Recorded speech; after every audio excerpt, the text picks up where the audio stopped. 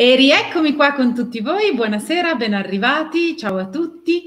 Allora, questa sera parleremo di Leonardo, Giù le mani da Leonardo è proprio il titolo, in, eh, prendendo spunto da questa serie televisiva che probabilmente tanti avranno visto, comunque che è un po' sulla bocca di tutti, proprio su Leonardo, eh, che è uscita sulla RAI, RAI Play, eh, e che ha sollevato un sacco di perplessità perché moltissime persone hanno proprio evidenziato che la storia raccontata di Leonardo non corrisponde a quella normalmente conosciuta o studiata a scuola. Per cui eh, diciamo che visto eh, il dibattito in atto, mi sembra eh, la cosa più divertente, carina e anche pregnante poterne parlare proprio con Riccardo. Riccardo Magnani, eccolo qua, aspettate che arriva. Ciao Riccardo. Ciao, ciao Eleonora, ciao a tutti. Eccoci qua nuovamente insieme. Questa sera parliamo proprio della tua area di diciamo, specializzazione, il tuo cavallo di battaglia, perché mi sembra che tu ti sia um, approcciato al Rinascimento e a Leonardo in maniera totalizzante per tanto tempo, sbaglio? Allora, sì, per tantissimo, nel senso che oramai sono 14-15 anni e faccio solo questo. Ho abbandonato la mia precedente attività di economista e e oggi quello, quello faccio. Eh, addirittura in maniera eccessiva qualcuno mi critica, nel senso che poi dicono che voglio fare il tuttologo, per cui parlo di Leonardo, parlo di storia, parlo di Americhe, parlo di musica e quindi voglio mettere il becco un po' su tutto quanto. Il problema è che parlare di Leonardo e di Rinascimento vuol dire conoscere gli sviluppi eh, geografici, politici, sociali dell'epoca e vuol dire conoscere eh, quello che era l'intendimento nei riguardi della musica, che è completamente diverso da quello strumentale, no? l'abbiamo già in parte anticipato. Quindi è una necessità, nel senso che non puoi conoscere Leonardo se non affronti tutto il resto e non puoi conoscere il Rinascimento se non affronti tutto il resto. Beh, ma perché è tutto collegato, cioè noi abbiamo un po' l'abitudine o comunque è stato insegnato a scorporare un po' tutto, eh, tutte le materie risultano sempre staccate e chi si specializza in qualcosa perde completamente lo sguardo d'insieme, ma anche a livello storico è così e in effetti non è molto sensato proprio perché i collegamenti ci sono e sono quelli che ci aiutano anche a comprendere, per cui è assolutamente... Sì. Storicamente è così, no? Perché eh, i goliardi, che poi erano quelli che venivano mandati in giro un po' per tutta Europa a studiare nelle università e monasteri, si occupavano proprio di tutto quanto e sin dai, dall'antichità eh, coloro che approcciavano la conoscenza erano astronomi, matematici, cartografi, proprio perché musicisti, proprio perché una cosa è correlata all'altra, senza andare per forza di cose nella descrizione del quadrivio, del trivio, e quindi a, raccontare quello che poi è l'essenza prima dell'universo, però è un dato oggettivo, cioè chi indaga la conoscenza non può non farlo intrecciando alcune materie che sono tra di loro collegate.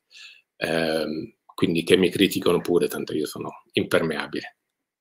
Vabbè, ma le critiche in quest'epoca ci sono sempre comunque un po' dappertutto. Quindi, senti, ma quanta gente ti ha chiesto cosa ne pensavi di famoso, questa famosa serie su Leonardo? Troppi, troppi al punto tale che mi sono turato il naso fin quando non è finita e poi appunto esasperato e visto che è finita l'altro giorno ho detto vabbè, mettiamo un punto a tutta la situazione in maniera tale che eh, quello che è un male, perché poi di fatto è stato un male, almeno produca qualcosa di costruttivo e possa essere lo spunto per così, voltare pagina. No? Assolutamente. Però, però, comunque veramente troppi, cioè sapendo che io studio Leonardo, tutti mi scrivono, mi dice cosa pensi, ah ha detto quella cosa lì, ma è vero che, quindi è diventata una cosa quasi ossessiva. Beh, ma tanti hanno messo in discussione proprio rispetto alle informazioni eh, studiate a scuola, quelle solite, no? Mi sembra che la, le, le, critiche maggiori gliele abbiano fatte in, in, questi termini.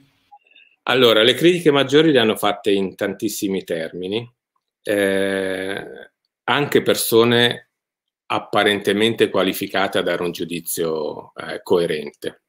nel senso che eh, la cosa più divertente che ho trovato in tutta la faccenda è che si sia criticato eh, un prodotto che è dichiaratamente una fiction, termine non a caso, e quindi una finzione eh, cinematografica per approfittare dell'appeal e del fatto che Leonardo è comunque un attrattore eh, sul pubblico, un po' come è stata fatta eh, negli anni passati con i medici, e si sono eh, mischiate tutta una serie di informazioni relative a Leonardo, random, proprio totalmente random, eh, e si è fatto questo prodotto di fantasia, completamente di fantasia, dichiaratamente di fantasia, eh, che però, ripeto, nella sua manifestazione è diventata ridicola per il fatto che eh, ci sono state delle critiche che sono state rivolte allo sceneggiato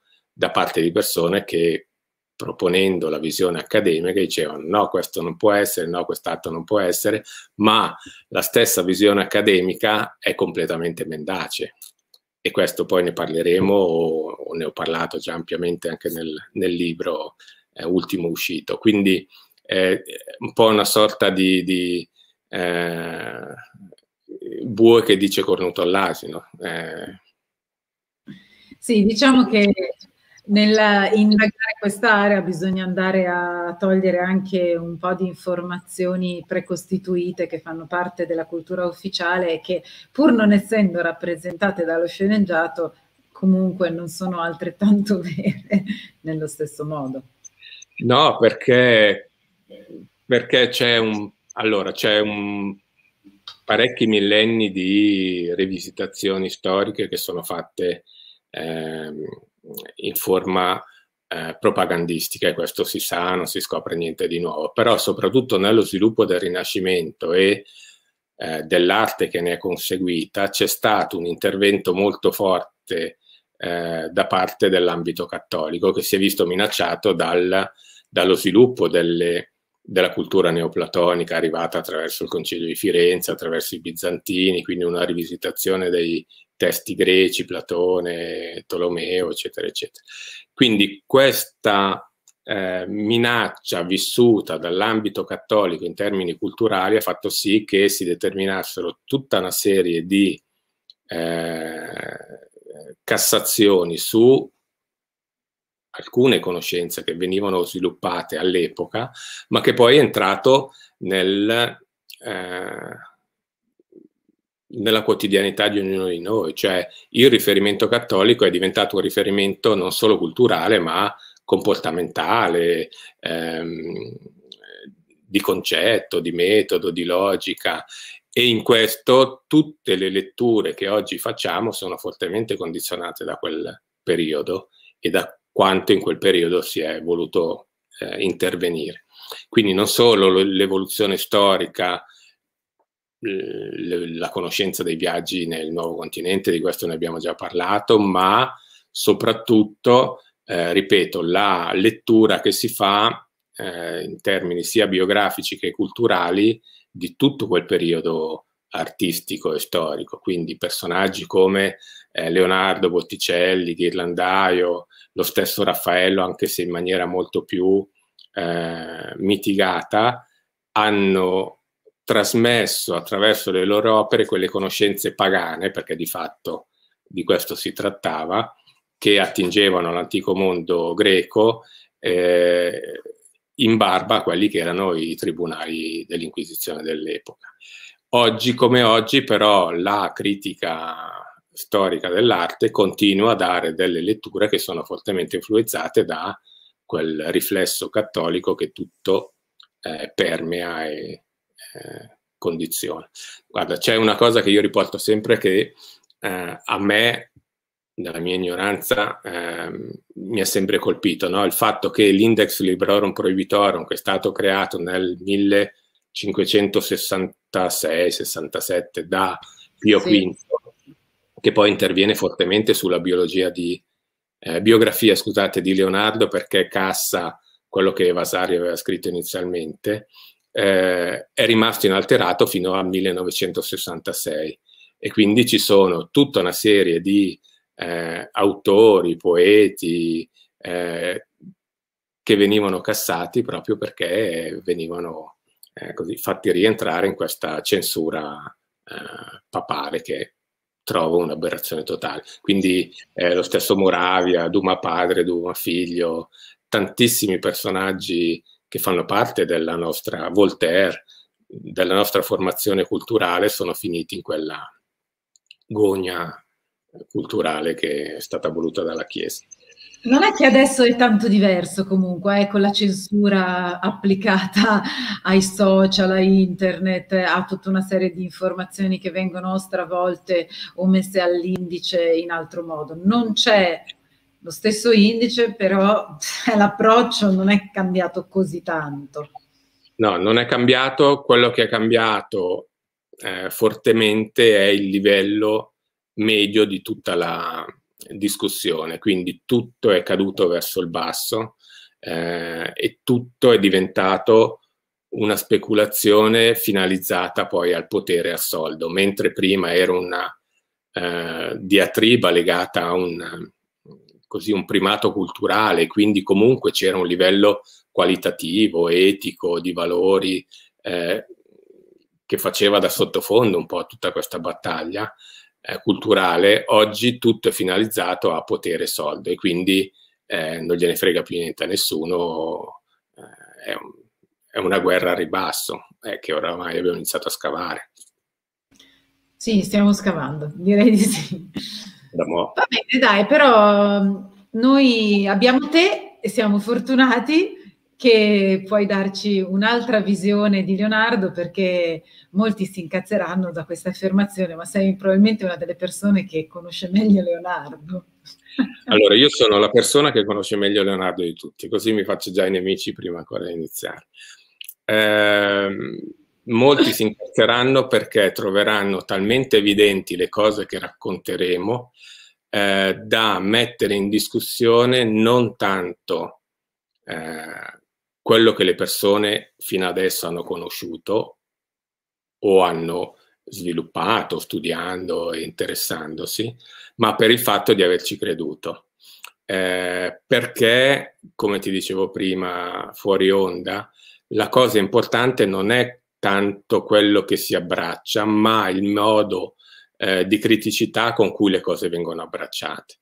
Perché tante volte si tende a negare un assunto proponendo una tesi che è a sua volta mendace o basata su elementi mendaci. E proprio su questo io vorrei iniziare a, raccontare questa sera la nostra chiacchierata per arrivare poi a sviluppare una tesi finale. Eh, quindi non parleremo nello specifico di Leonardo perché dovremmo parlare anni, mesi eh, e non finiremmo più.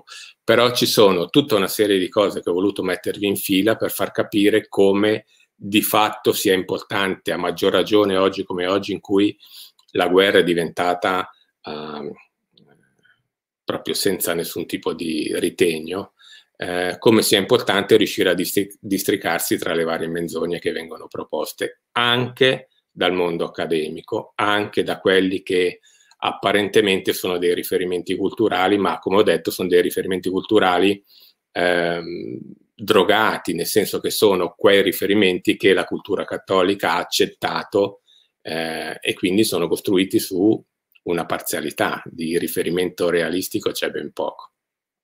Credo che le perplessità sul mondo accademico, su, scusate, sul mondo accademico sul mio canale siano state riportate parecchie volte e quindi non si sconvolge quasi più nessuno, ecco. Però è sempre sconvolgente vedere fino a che punto può arrivare la manipolazione delle informazioni. Questo sì, perché per tanto che lo sappiamo, quando impattiamo su argomenti, eh, parti della storia che abbiamo studiato a scuola, con cui ci siamo confrontati su libri di testo, eccetera, e ci rendiamo conto di quanto le cose siano in realtà diverse, ovviamente è piuttosto spiazzante, questo assolutamente. Sì, è spiazzante, però come sempre la colpa è in primis nostra, nel senso che è vero, ci scrivono tante cose e se imparassimo a sviluppare uno spirito critico, chiaramente non lo si matura dall'oggi al domani, però giorno dopo giorno ci sarebbero alcune situazioni che non troverebbero nemmeno la porta d'ingresso per accedere alla nostra testa, no? Quindi... E infatti sei qua apposta. Volentieri. Allora iniziamo, ti interrogherò un po' così teniamo viva la tua oh. attenzione. Interroghiamo anche il pubblico, così teniamo... Interroghiamo. Io non vedo le chat, le vedi tu, perché sennò poi mi distraggo. Vedo, vedo, vedo io, vedo io. Allora, vuoi che metta Grazie, le slide? Sì. Eccoci qua. Ecco. Allora, perfetto. Partiamo da qua.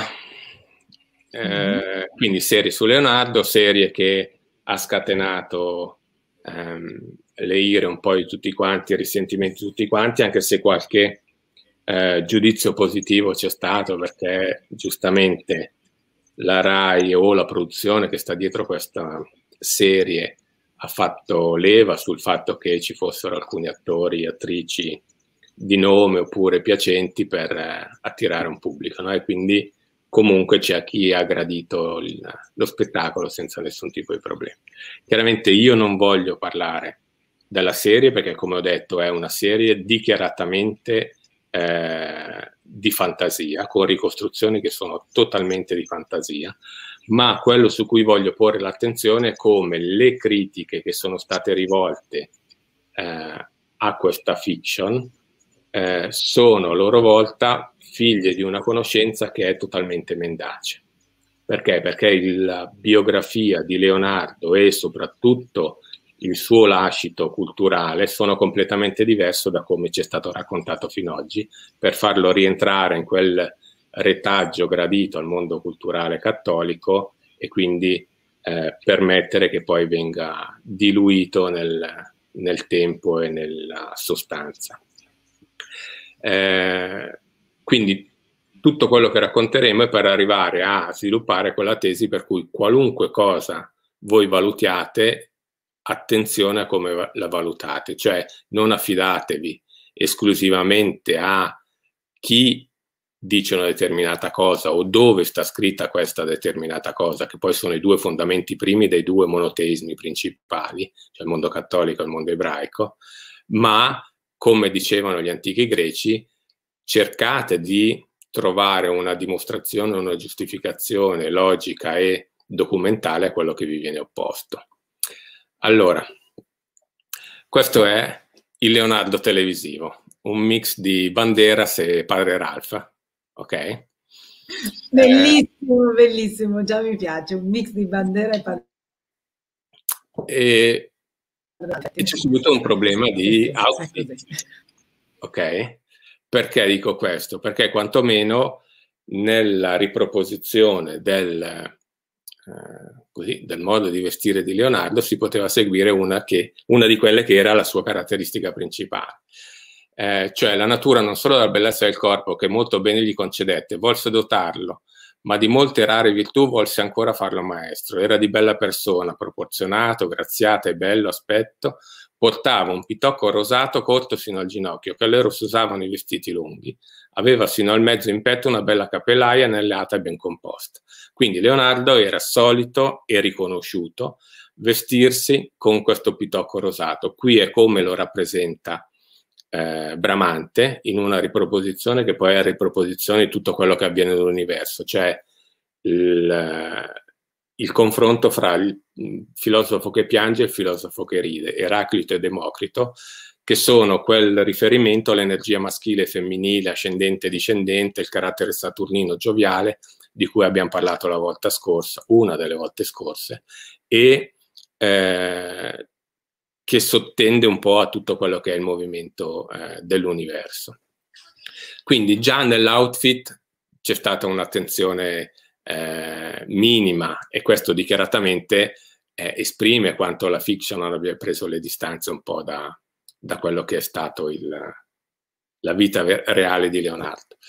Qui abbiamo Giannini e eh, l'attrice di cui non ricordo nemmeno il nome, tanto interessata sono all'argomento, eh, che rappresentano Andrea del Verrocchio e Caterina Cremona. Caterina Cremona è un personaggio ripeto, nuovamente dichiaratamente di fantasia. Però cosa succede? Nel comporre questa scenografia di fantasia, eh, gli sceneggiatori hanno preso tutto quello che è legato a eh, Leonardo, quindi Caterina che si dice essere stata la madre, eh, Cremona che Leonardo cita un paio di volte nei suoi codici, eh, il Bembo come vedremo più tardi, e hanno fatto un miscuglione incredibile come quando giochi a, alla tombola a Natale, tiri fuori i numeri e in base ai numeri che vengono fuori li butti in giro. E questo è un po' quello che è successo.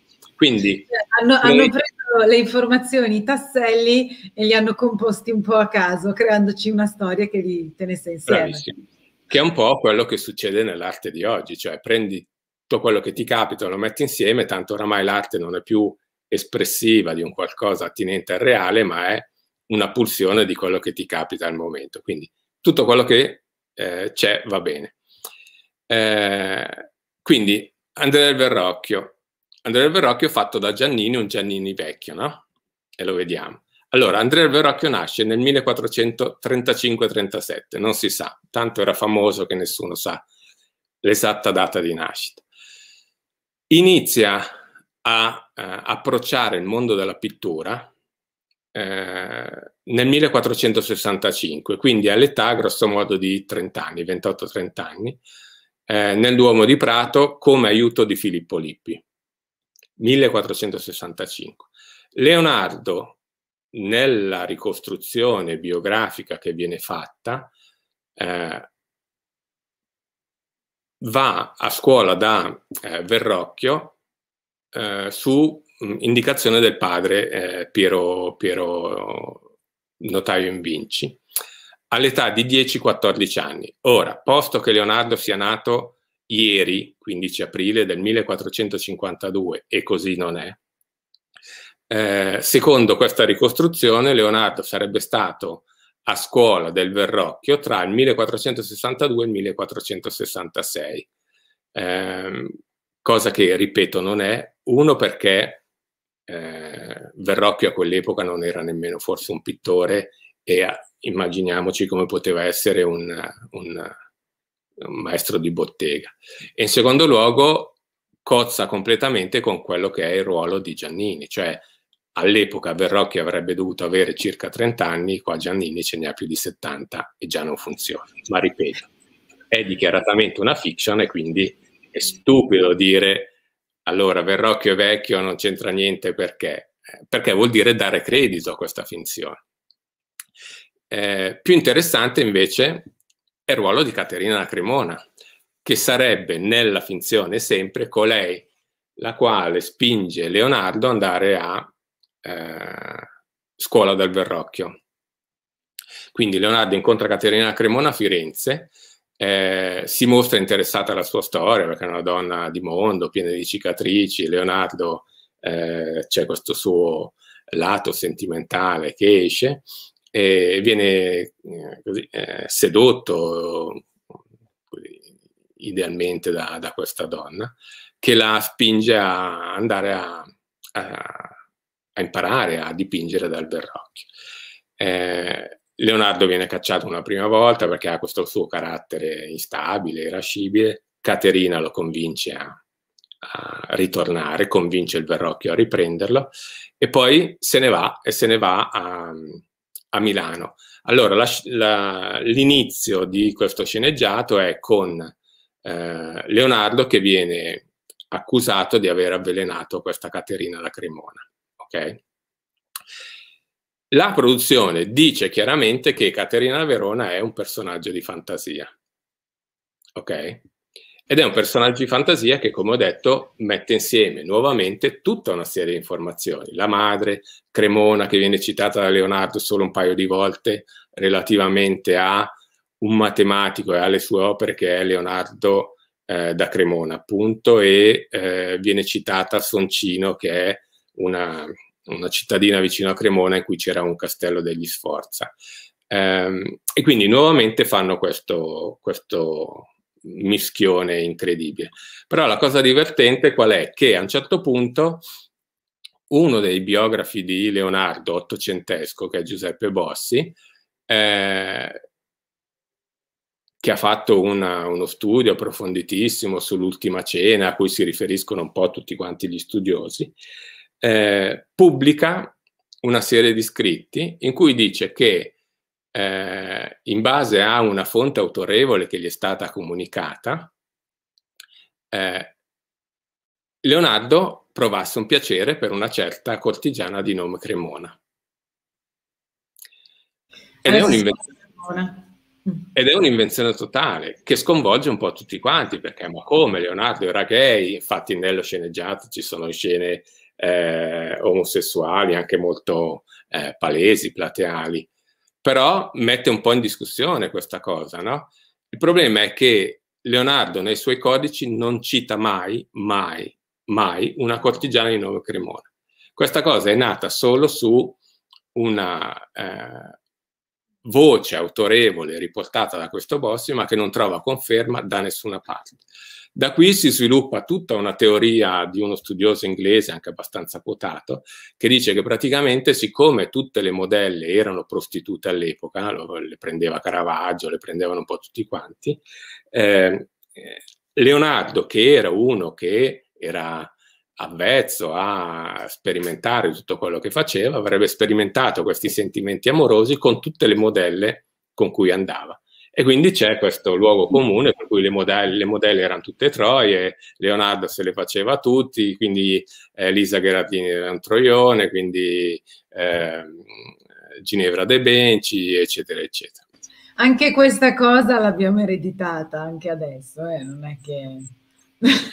Purtroppo. Allora, Cosa succede? Eh, Caterina Cremona, dopo aver spinto Leonardo ad andare a Bottega del Verrocchio, vecchio, quindi sarà stato il nonno del Verrocchio, nota che Leonardo e Verrocchio sono pressoché coetanei, perché Leonardo in realtà nasce dieci anni prima, cioè il 4 luglio del 1442, e tutti questi riferimenti li potete trovare poi in Sessine Pa Leonardo, che è il libro che ho scritto a maggio. E eh, dicevo, dopo aver spinto Leonardo ad andare a scuola del Verrocchio, se ne va a Milano, dove ha una storia d'amore, chiaramente come amante, perché non poteva essere diversamente, perché Zoccola è, Zoccola rimane, e va a, a Milano come amante dell'ambasciatore Bernardo Bembo. Allora, Bernardo Bembo è un altro di quegli ingredienti che gli sceneggiatori hanno preso e hanno buttato dentro così. Perché? Perché Bernardo Bembo è il modo in cui attraverso una ricostruzione completamente mendace viene riconosciuto il ritratto di Ginevra De Benci.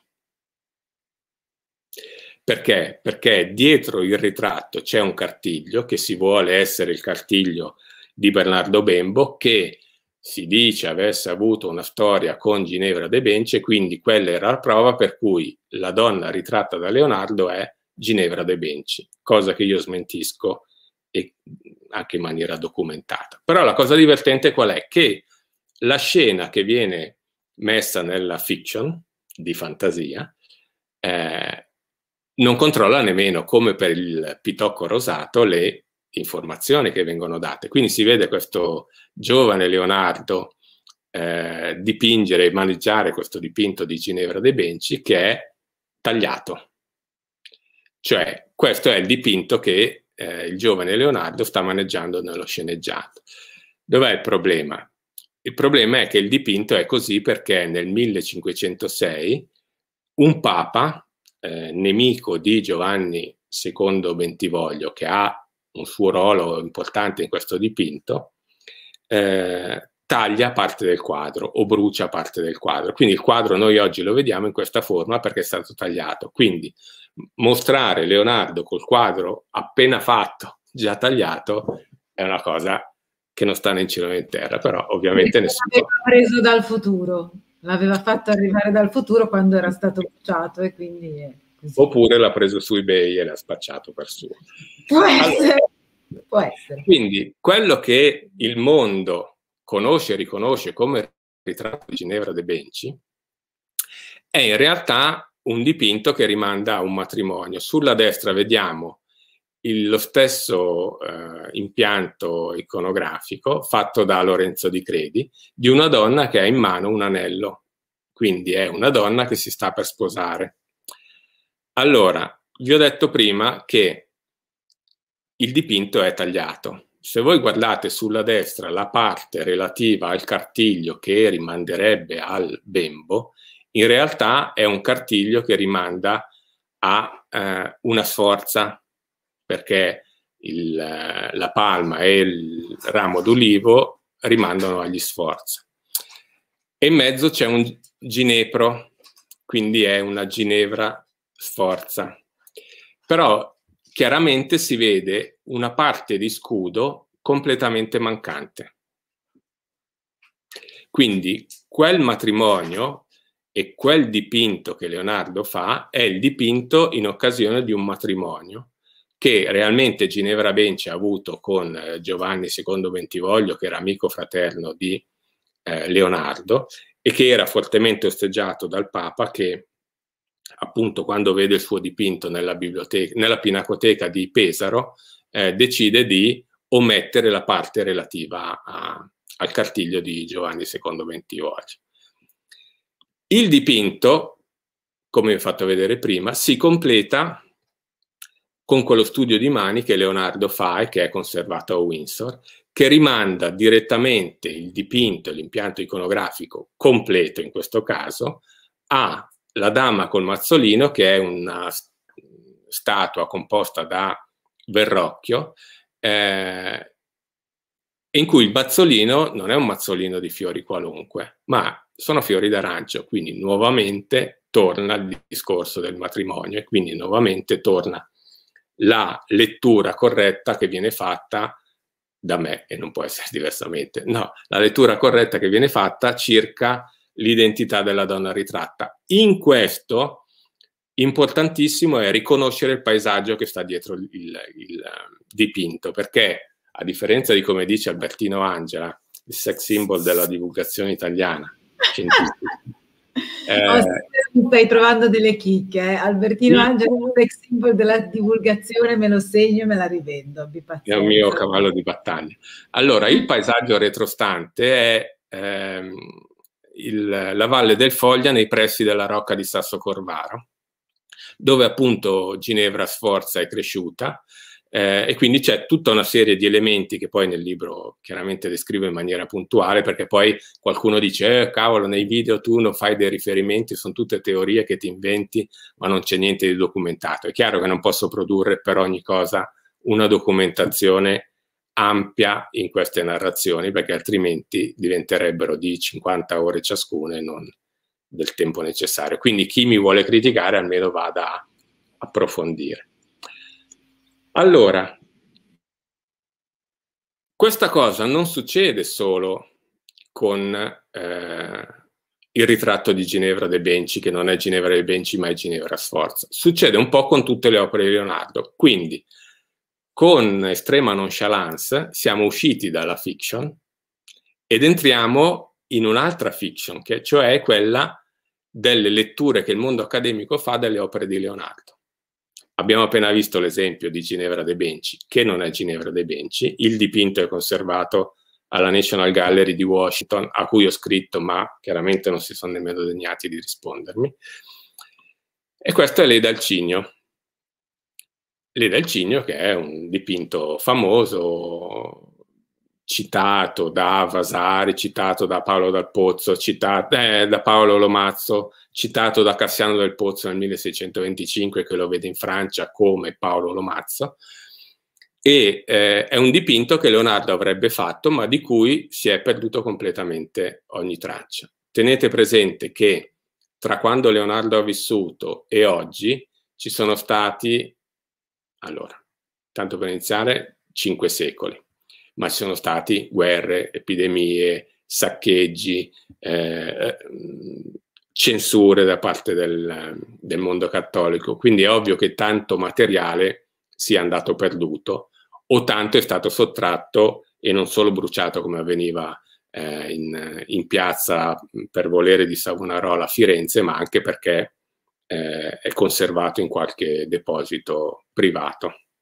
magari a Roma, chissà, oltre Tevere. Però il dipinto originale di Leonardo, come detto, non c'è. L'impianto iconografico è un impianto vecchissimo a dimostrare come l'arte rinascimentale non nasce eh, dall'oggi al domani, ma è la riproposizione a sua volta di tutta quell'arte che gli antichi greci eh, producevano. Quindi il Rinascimento nasce non solo culturalmente, ma anche artisticamente eh, sul, sullo slancio che l'antico mondo greco aveva eh, così, eh, suggerito agli artisti, a, ai letterati del, di quel periodo. Questa è una leda al cigno che è stata trovata un paio d'anni fa, se non sbaglio, a Pompei. Eh, di Leonardo, o meglio, a ricordare quella che è stata la proposizione di Leonardo, abbiamo questo dipinto che è conservato agli Uffizi di Firenze, che è di, eh, dell'allievo di Leonardo, cioè Francesco Melzi eh, dipinto raccontato da, dai critici dell'epoca come un dipinto bellissimo, eccetera, eccetera. Il problema qual è? Che Leda è Leda, ma il cigno non è un cigno. E quindi è Leda e un'oca. È vero. Perché il cigno non ha i denti, questo ha i denti, è palesemente un'oca per la colorazione, per le sfumature del becco, eccetera, eccetera.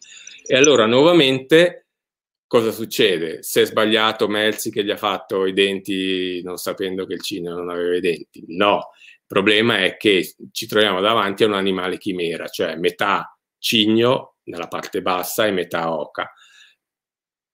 E andando a ritroso nel mito di Leda, eh, Leda eh, viene inseguita da Zeus. Per mh, mm, scappare da Zeus si trasforma in eh, Cigno e eh, Zeus si trasforma in oca per poterla mh, mm, così mh, mm, concepire. Quindi l'animale chimera cos'è? È nuovamente quella riproposizione fra elemento maschile e elemento femminile che abbiamo visto eh, la volta scorsa eh, relativamente alle vibrazioni dell'universo.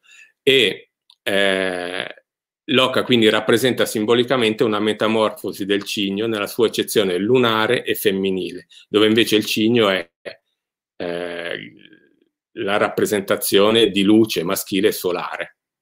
Quindi quello che apparentemente è un errore eh, pittorico, in realtà è un contenuto eh, profondamente eh,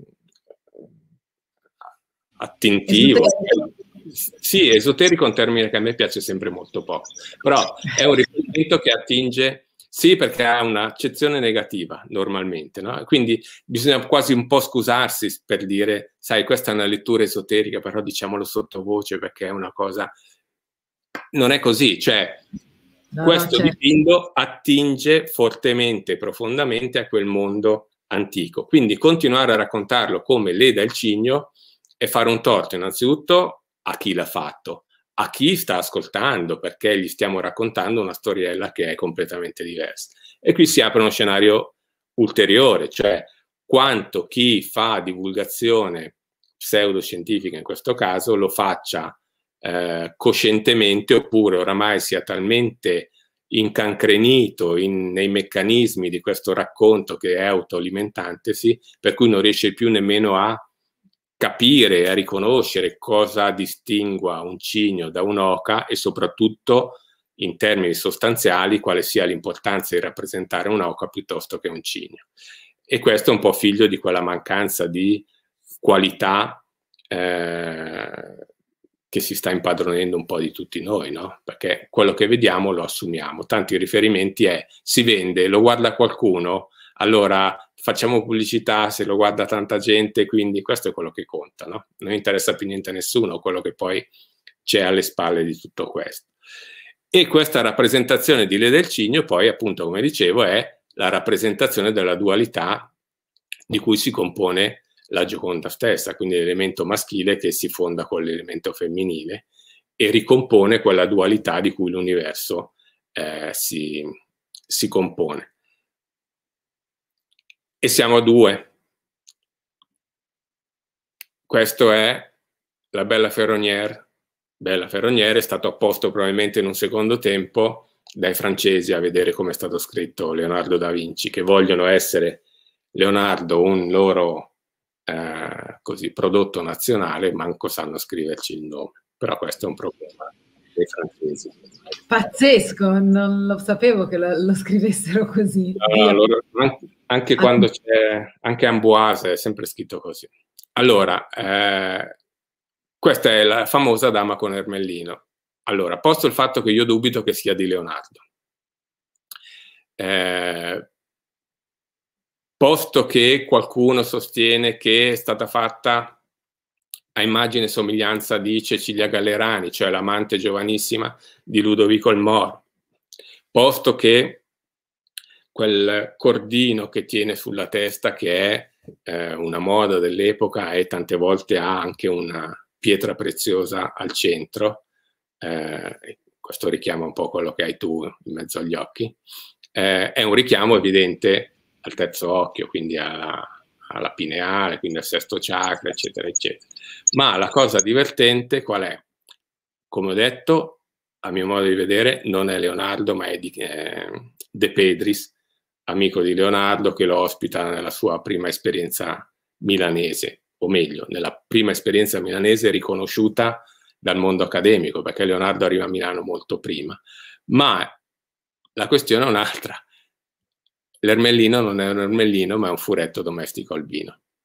C'è sempre un problema con gli animali qua, eh? Cioè c'è un'ignoranza zoologica incredibile.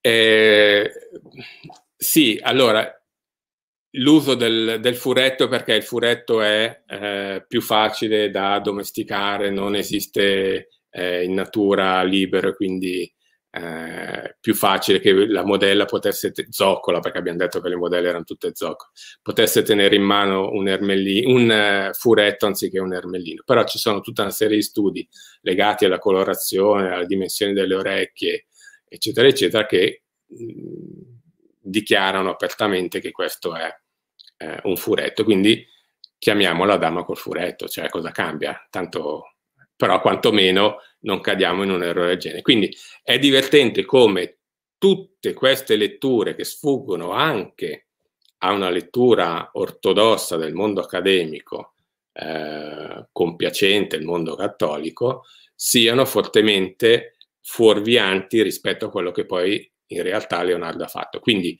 eh, criticare l'operato di quella fiction nel modo in cui è stato fatto solo perché non è realistica rispetto alla vita di Leonardo, ci andrei cauti nel senso che prima imparate cos'è Leonardo e poi potete criticare quello che ha fatto. Questo esercizio che abbiamo fatto fino adesso possiamo farlo per tutte le opere di Leonardo.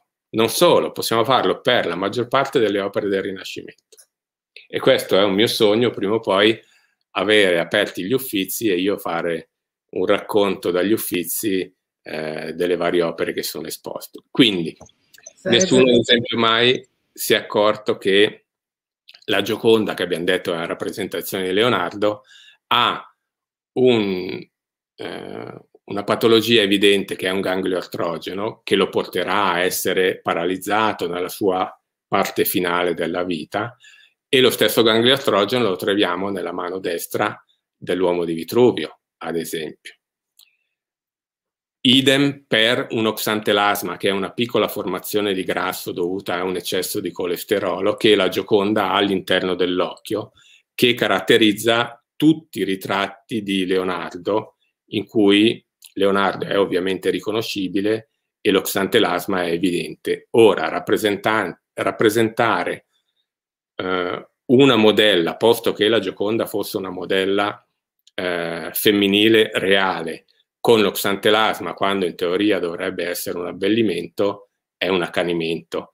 Eh, al limite poteva fargli una mush, un, un neo, ma chiaramente evidenziare un oxantelasma non è un atto di cortesia, a meno che non volesse rappresentare qualcuno che l'oxantelasma ce l'aveva sul serio. Posto che la Gioconda è la Gioconda, cioè gioviale, quindi quel suo ghigno famoso è un ghigno celestiale che esprime, come dice Vasari, la, il carattere eh, spirituale della donna ritratta, ma non è Monna Lisa. perché eh, in base alla testimonianza fatta da Antonio De Beatis, che era un canonico che ha accompagnato Luigi d'Aragona a trovare Leonardo a Amboise poco prima che morisse, racconta i quadri che sono stati acquistati dal re e tra questi Mona Lisa non c'è, ma c'è la signora di Lombardia. Quindi quello che il mondo riconosce esposto al Louvre come la Mona Lisa è in realtà la signora di Lombardia. Quindi sono riusciti a ciccare o volutamente a modificare anche l'opera più famosa in assoluto di Leonardo. Ma perché? Perché chiaramente non possono dare come interpretazione quella del rebis, perché il rebis è una cosa cattiva, malvagia, perché esprime qualcosa che va contro eh, il fondamento cattolico, quando poi il Cristo stesso, quando poi il Cristo stesso no, è una rappresentazione del rebis. A proposito dei rebis, a nessuno mai è venuto eh, il, la curiosità, sai, i bambini piccoli fanno danni e toccano sempre tutto, no? E io sono un po' come un bambino piccolo, a nessuno mai è venuto l'idea di girare l'uomo di Vitruvio. E se voi girate l'uomo di Vitruvio, i due pettorali sono due eh, putti che si baciano, due bambini, a eh, rappresentare la dualità, esatto. Bellissimi. Di questo abbiamo già parlato eh, parlando di Eldorado Paititi, no? la sfera armillare col triangolo estivo che è espressivo di dove l'irraggiamento eh, cosmico entra nella nostra, nel nostro sistema solare. Eh, sull'ultima cena potremmo stare ore e ore e ore a parlarne e non è il caso. Sull'angelo incarnato, sul perché nei dipinti del Rinascimento eh, i soggetti ritratti si battono sempre una mano sul petto e con l'altra indicano il cielo, perché qua, come eh, esprime anche Leonardo, si riteneva si trovasse il sito spiritualis. In realtà è in corrispondenza del quarto chakra, ghiandola del timo. Eh, anche questo non lo si può raccontare, perché figurati parlare di chakra in un'opera che parla di elementi sacri, ma di cosa stai parlando? Quindi cosa aspetta, succede? Aspetta un attimo perché è saltata la, la, linea, ma di cosa stai parlando? Non so se hai detto qualcos'altro di importante. No, perché... Ho fatto una pausa di riflessione e ho detto, quindi cosa succede? Ok. Succede che bevo un pochino, aspetta. Sì, sì, tranquillo, tranquillo. E adesso ti interrogo. Eh. Uh, no, no, non me, interroghiamo. Allora, cosa succede? Eh, passando per un percorso eh, non necessario, che è quello di questa fiction, ma che si è reso necessario perché tutti mi hanno chiamato in causa chiedendomi cosa ne pensassi, eh, ho deciso di prendere spunto proprio facendovi vedere alcune cose, facendovi eh, riflettere su questa cosa, cioè prima di esprimere un giudizio di merito su qualcosa, abbiate l'accortezza di avere una piena contezza di quello che state eh, valutando e giudicando. Questa cosa si riassume in una frase di Leonardo che a me piace sempre citare, che è l'acquisto di qualunque cognizione è sempre utile all'intelletto, perché potrà scacciare da sé le cose inutili e riservare le buone. Quindi anche una fiction completamente astrusa, eh, fatta da quello che una volta era eh, la televisione di riferimento che aiutava il popolo italiano a avere un livello culturale un po' più elevato eh, di quello che abbiamo oggi, può essere utile se ci aiuta a comprendere qualcosa di eh, più profondo, come stiamo facendo questa sera. E Leonardo Chiosa, perché nessuna cosa si può amare né odiare se prima non si ha cognizione di quella. Questo dovrebbe essere un insegnamento totalitario, cioè prima di esprimere un giudizio su qualcosa o prima, per, prima di dare un'adesione o di negare la propria adesione a qualcosa, bisogna essere informati bisogna conoscere quella cosa, ma non per sentito dire, come ha fatto Bossi nei confronti di, della prostituta, no, della cortigiana di nome Cremona, cioè sviluppando uno spirito critico, non accettando quello che viene detto solo perché l'ha detto Albertino Angela o il suo amichetto Alessandro Barbero, ma perché hanno un fondamento ehm, eh, documentale, solido, sostenibile. E quindi cosa succede? Tutta, e quando dico tutta sottolineo tutta, la biografia e la parte contenutistica delle opere di Leonardo è totalmente falsata, volutamente falsata, dolosamente falsata, perché quando Vasari ha scritto la vita di Leonardo e Vasari scrivendo il vite dei più grandi architettori, pittori, scultori, ha posto le basi per le biografie di quasi tutti gli artisti del Rinascimento, l'ha fatto rivedendo una sua prima opera, sempre Le Vite, fatta 18 anni prima, cioè nel 1550, in cui c'erano scritte delle cose completamente diverse. Poi, sulla seconda versione, è intervenuto Pio V, quello dell'Index Liberorum Prohibitorum, e ha detto, qua scrivi così, qua scrivi così, qua scrivi così. E non l'ha fatto da solo, l'ha fatto con Cosimo I. Cosimo I è quello che trasferisce la famiglia dei Medici a Palazzo Vecchio da Palazzo Medici Riccardi. Quindi l'immagine che oggi abbiamo dei Medici eh, di Firenze legata a Palazzo Vecchio è l'immagine del degrado eh, culturale di Firenze, che viene dopo Savonarola e viene dopo che i Medici, discendenti da Cosimo, il vecchio, sono stati estromessi da Firenze. Quindi è una ricostruzione totalmente ehm, mendace.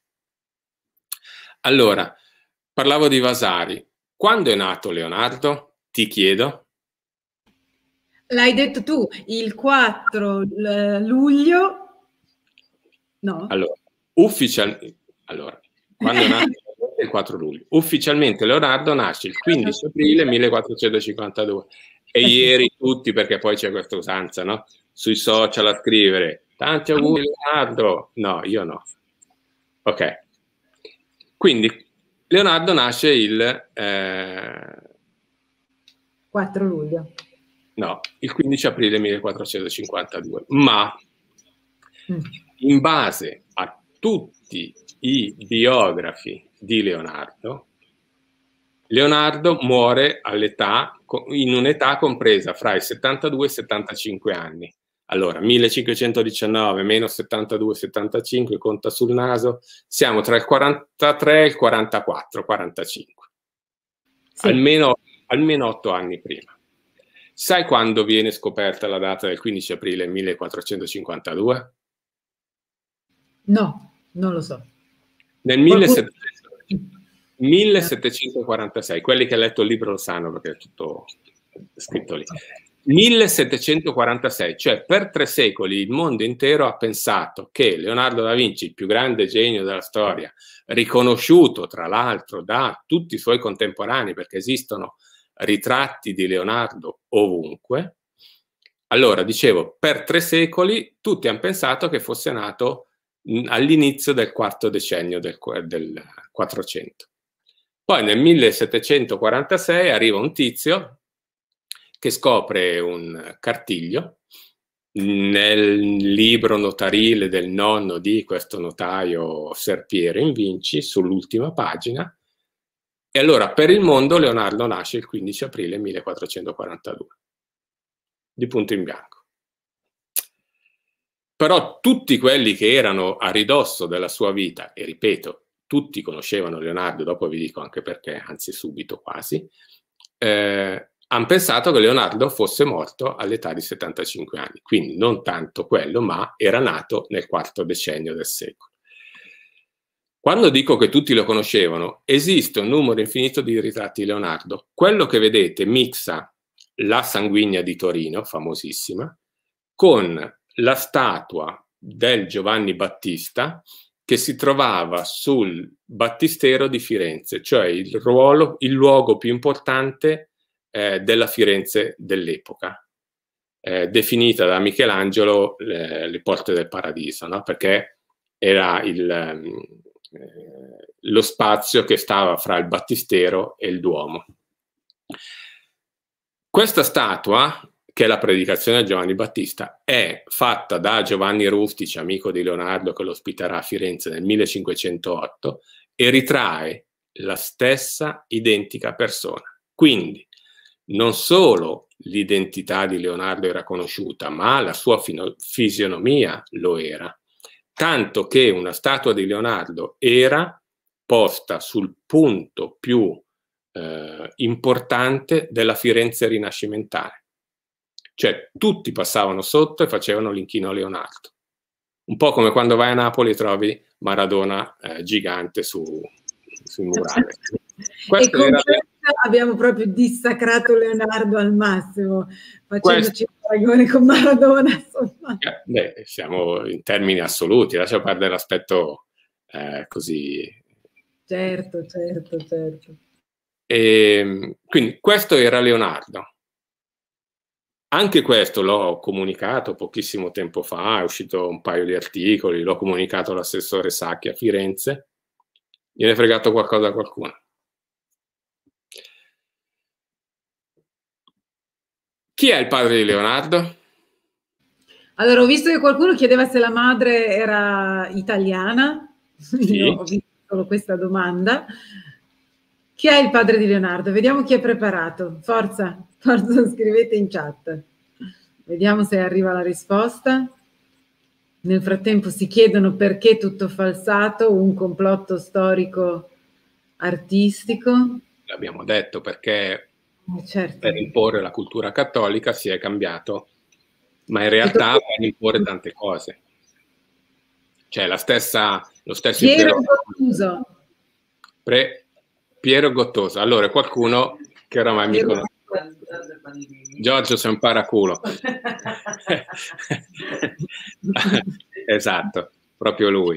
Allora, perché ti dico chi è il padre di Leonardo? Perché, perché nessuno lo sa. No, perché in tutte le biografie, in tutte le ricostruzioni, in qualunque narrazione su Leonardo voi possiate ascoltare, vi dicono che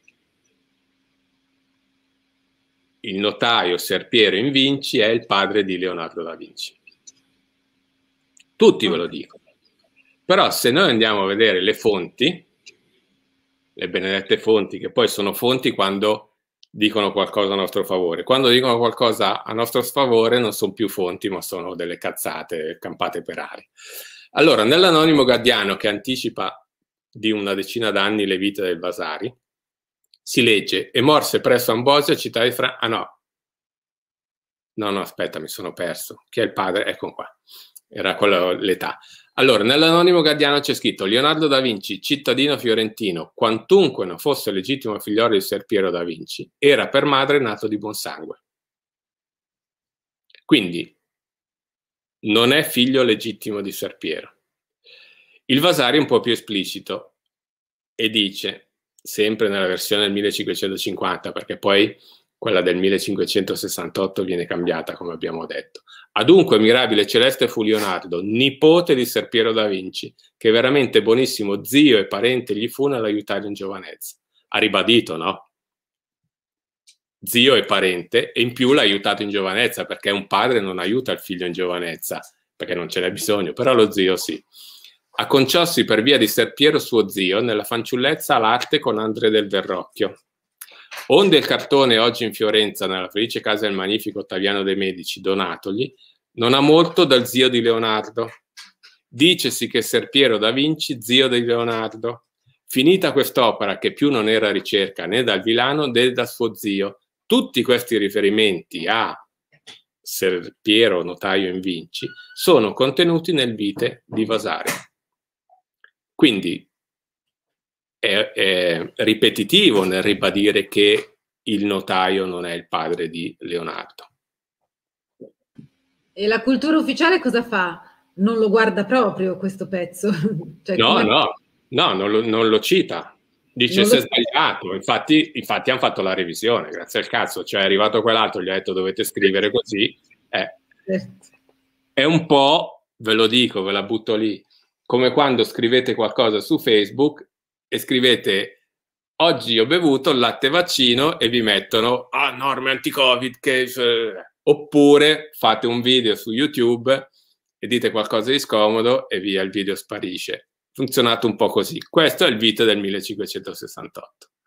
Quindi quando noi siamo così lascivi nell'accettare tutta una serie di condizionamenti e di censure che ci vengono propinate giorno dopo giorno, dovremmo pensare che queste censure hanno condizionato la nostra intera esistenza. Magari uno ha anche preso quattro l'interrogazione storia dell'arte perché non sapeva queste cose. Eh, eh, cazzo, sono tutte diverse. Chi ha scoperto Colombo? Eh, l'America. Oh, non lo so. Di certo non Colombo. Quattro, capito? Quindi attenzione perché sono delle cose che eh, non sono fine a se stesse, cioè questa non è solo, e io lo dico sempre, Leonardo è un pretesto per comprendere tante altre cose, o il Rinascimento per comprendere tante altre cose. In ultima analisi per comprendere l'evoluzione e il punto d'arrivo della società di oggi, ma per comprendere come il pensiero comune si è formato. E questo lo potete capire solo passo dopo passo analizzando tutte queste situazioni.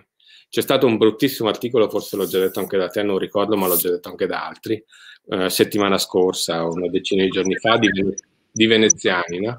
che diceva che gli storici non dovrebbero fare revisione storica perché oramai qualche stato è stato, dobbiamo interpretare il presente per quello che è. E no, è troppo comodo così. Quindi attenzione attenzione bene a quello che si fa. Terza domanda, signorina Fani. Aiuto. Mi dica, quando Leonardo arriva a Milano? La data poi?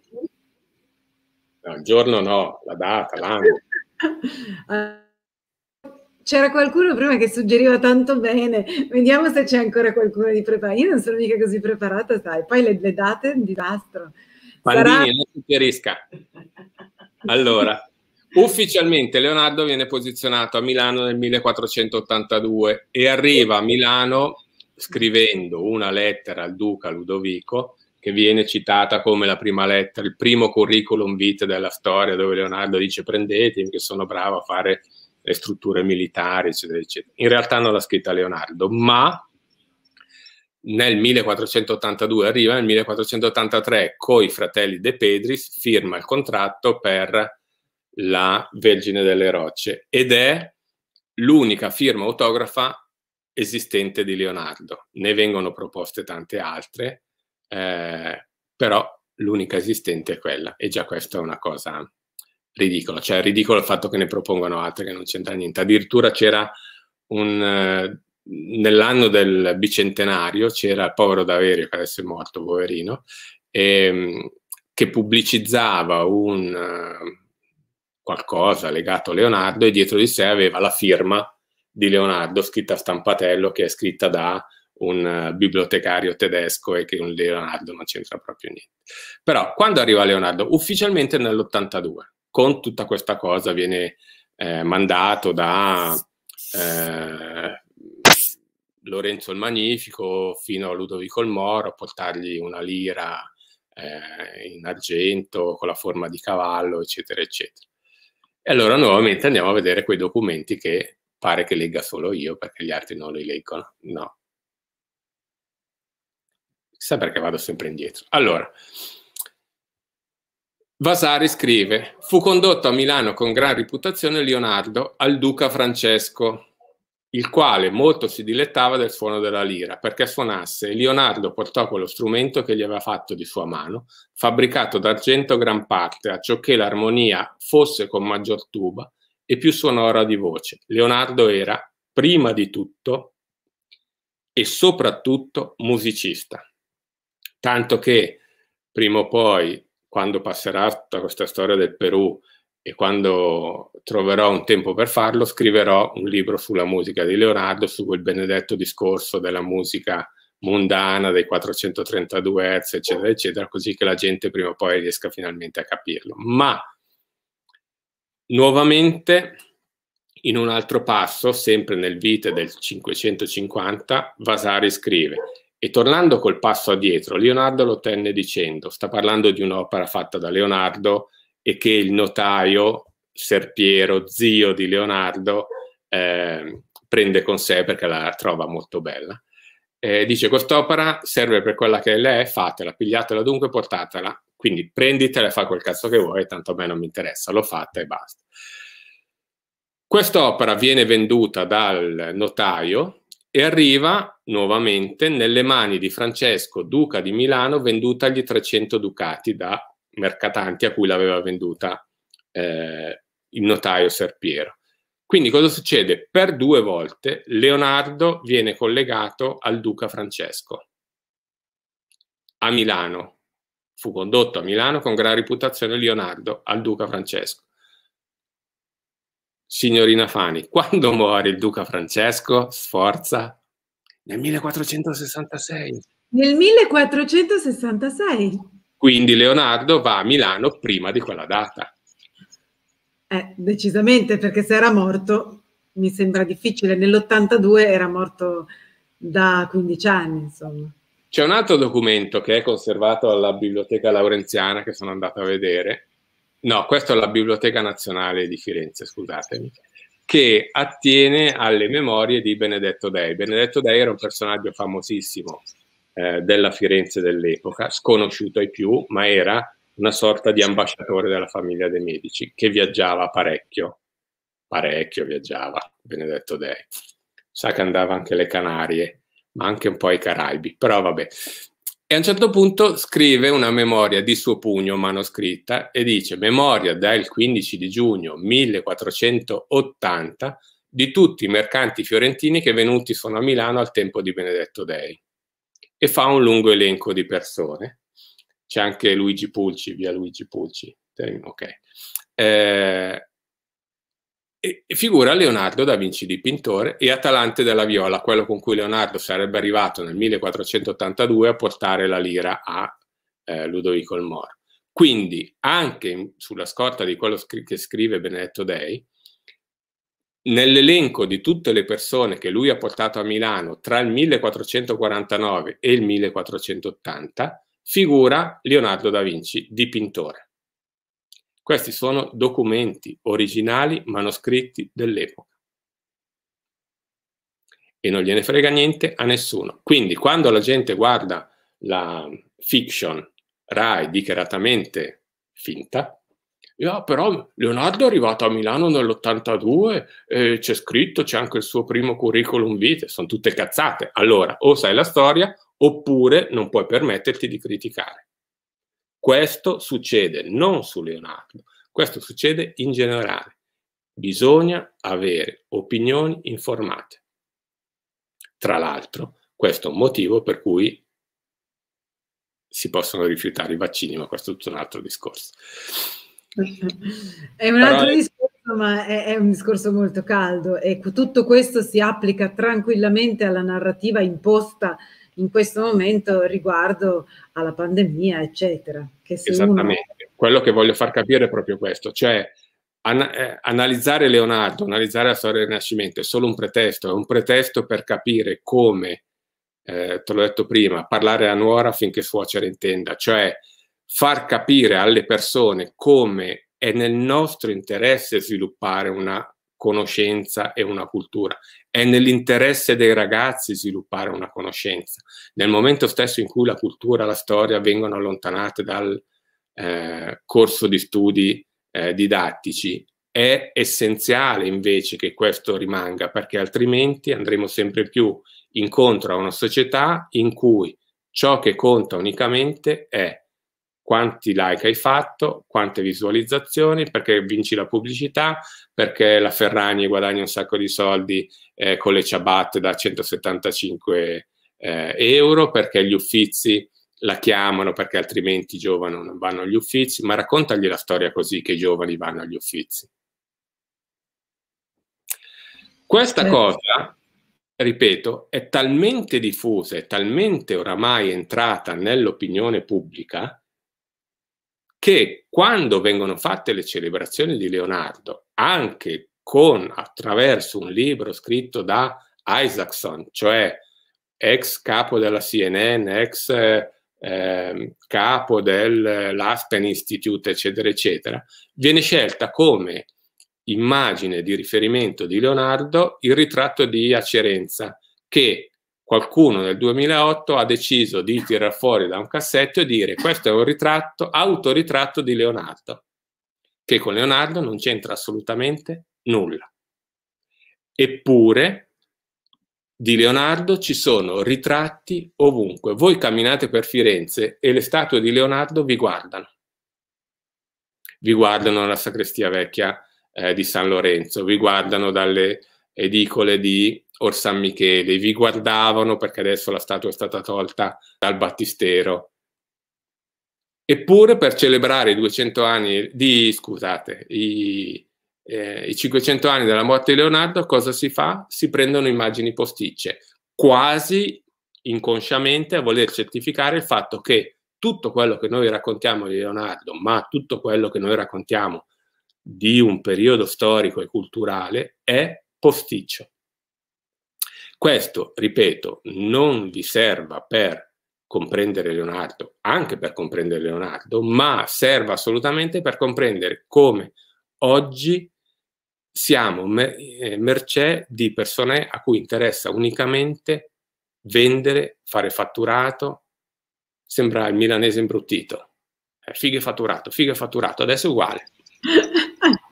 È uguale, non c'è assolutamente distinzione, perché la conoscenza che poi porta a sviluppare quella cognizione del nostro rapporto con l'universo, che è quello che forse è è l'unica cosa che effettivamente dovrebbe interessarci, è completamente dimenticata. Oggi interessa unicamente sapere chi è entrato in nomination all'Isola dei Famosi. Questo è veramente triste. Esattamente. Quando racconto queste cose o quando la gente poi non sa più come rispondere, perché come avete visto ci sono delle prove documentali molto eh, forti e eh, solide, Cosa succede? Mi dicono sì, ma tu sei un economista, non hai studiato storia dell'arte, non, non, hai studiato storia, non hai titolo per parlare, sei un pazzo. E allora io rispondo sempre come rispondo sempre alla fine di ogni conferenza. Ti svelo un segreto, i migliori sono tutti pazzi. Sono d'accordo. Beh, anche perché freggiarsi della cultura accademica per dimostrare la preparazione, quando ormai è evidente che la cultura accademica è ampiamente manipolata, eh, voglio dire, forse è veramente meglio chi ha fatto degli studi in maniera indipendente, li ha approfonditi per passione e non perché doveva prendere il titolo di studio e quindi si appiccicava quattro nozioni in testa, manipolate e volute dal sistema in modo che fossero volutamente fuorvianti, a questo punto forse è più fortunato chi quel percorso non l'ha fatto e ha studiato in maniera indipendente. Sono d'accordo con te, però quando poi leggi sui giornali o i telegiornali titoli del tipo Alberto Angela batte Maria De Filippi eh, nella programmazione del sabato sera, cioè non sai più dove buttare la testa, perché tanto dove cadi cadi è stessa sfiche, capito? Quindi c'è bisogno di una riconversione. Come dico sempre, qualunque rivoluzione culturale, economica, politica, sociale parte dal basso. Non bisogna aspettare che sia qualcuno dall'alto a condurre questa eh, rivoluzione, perché non ne ha nessun interesse.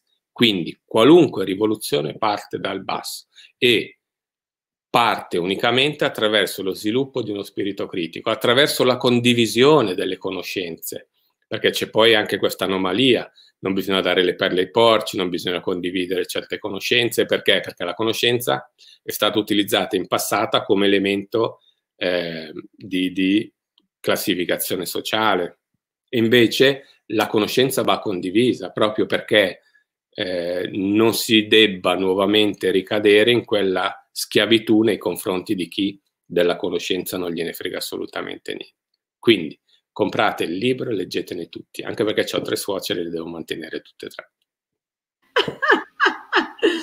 Bellissimo, io stasera ho avuto Odino che ha voluto fare la, la, la dama col gatto anziché con l'ermellino, eh, che sai, ha un nome pagano, perché si chiama Odino, quindi già lì, insomma.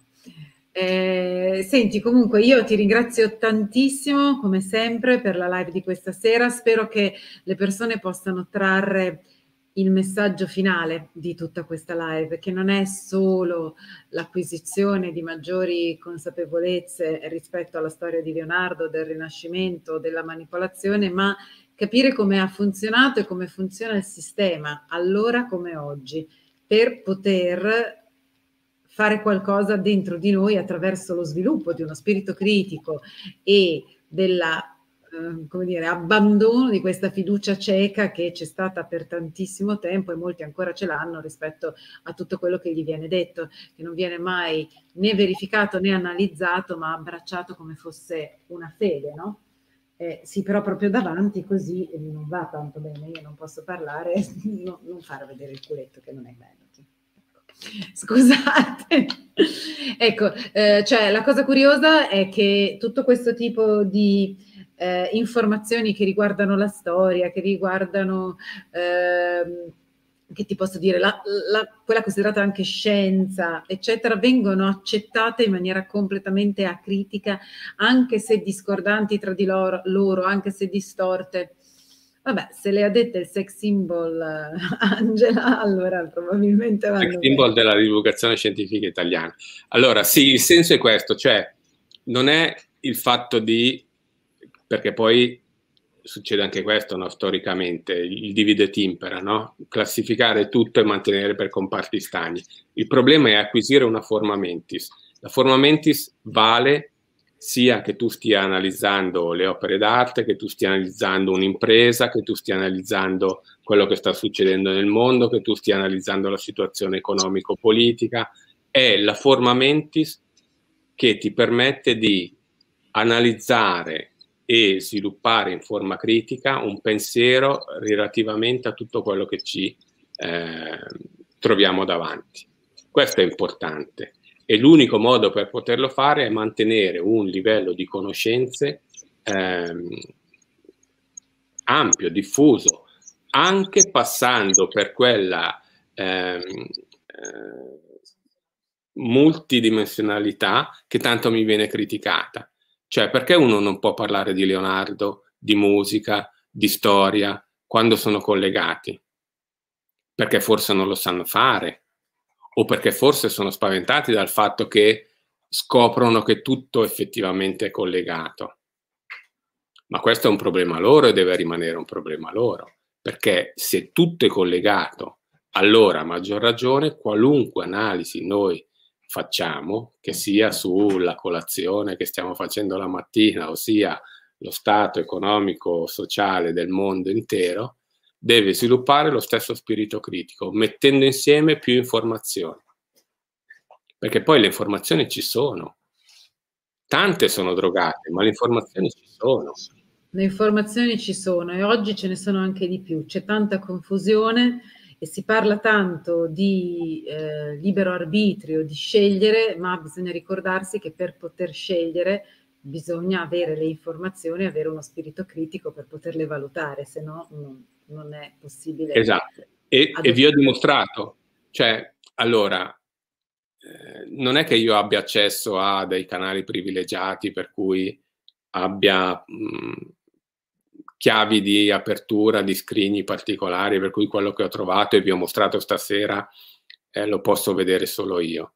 Cioè vi ho dimostrato come una persona eh, normalissima che non ha una formazione accademica può accedere a un controllo delle informazioni se usa la testa, se ha la capacità di mettere a confronto dei dati che sono dei dati documentali, documentabili, ripetitivi.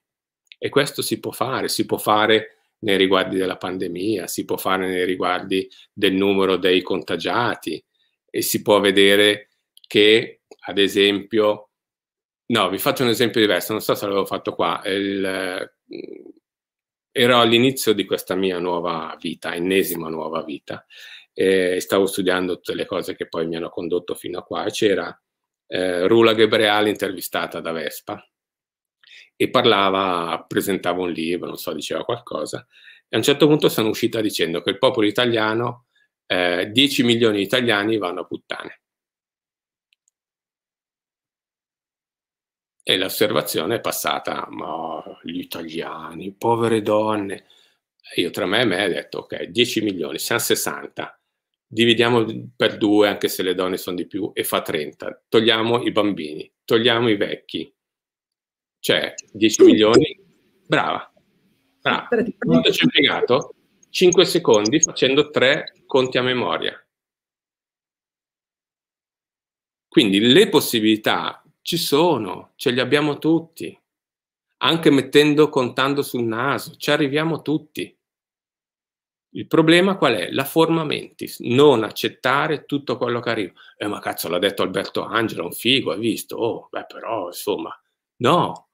Quando uno dice che eh, l'Araucaria nei dipinti è così perché i giardinieri eh, fiorentini avevano la moda di dipingere, di tagliare, i, di potare gli alberi in quel modo, ti sta prendendo per il culo. O quando Leonardo disegnava paesaggi di fantasia e eh, quindi i suoi paesaggi non esprimono nulla di reale, venite da me e vi faccio vedere cosa succede. Quindi quella è disinformazione ed è una disinformazione voluta. Certo. Profondamente voluta. Alberto Angelo è riuscito a venire qua a Lecco a fare una trasmissione sui Promessi Sposi che tutto il mondo sa essere collegati alla città di Lecco e lui è riuscito a fare due ore di trasmissione sui Promessi Sposi senza citare Lecco. Questo non è campanilismo, questo è per dire che cazzo di racconti fa quello. Quindi è la forma mentis quella che ci permette di essere critici su tutto. Critici non vuol dire essere come il mio amico Sbaldo che rompe i coglioni su tutto. Critici vuol dire passare al setaccio le informazioni che riceviamo. Dopodiché buttiamo via la testa, la coda, come quando si fa la grappa e si tiene il buono. Beh, io ti ringrazio tantissimo, spero che questo metodo piano piano possa essere contagioso e sempre più persone possano iniziare ad allenarsi, perché ovviamente abbiamo avuto un lungo allenamento al contrario, no? di non avere spirito critico, di accettare tutto e quindi cominciare a muoversi in direzione opposta significa la necessità di vincere una sorta di inerzia interiore, per cui ovviamente accettare criticamente tutto quello che viene detto eh, oggi come oggi risulta più comodo, in realtà più comodo più o meno perché poi ci fanno fare qualsiasi cosa con questa giustificazione, quindi risulta poi a lungo termine essere altamente svantaggioso, ma apparentemente minimo sforzo e quindi è un po' questo luogo comune che eh, va combattuto secondo me e in questa live tu l'hai espresso egregiamente. Ecco dal basso. Non aspettiamo che siano altri a farlo per noi, dal basso. Ma certo, avviciniamo ognuno... i nostri figli, avviciniamoli a una conoscenza, non lasciamoli in balia delle tante cazzate che gli vengono raccontate. Siamo noi i primi a diffondere questa inversione di eh, conoscenza. E come possiamo farlo? Documentandoci, e dove lo possiamo fare? Sui libri di Riccardo Magnani. Grande, grazie Riccardo, grazie a tutti, buonanotte, ci vediamo la prossima settimana con tutti voi, buon weekend e grazie ancora per essere stato con noi. E forza Inter. Oddio.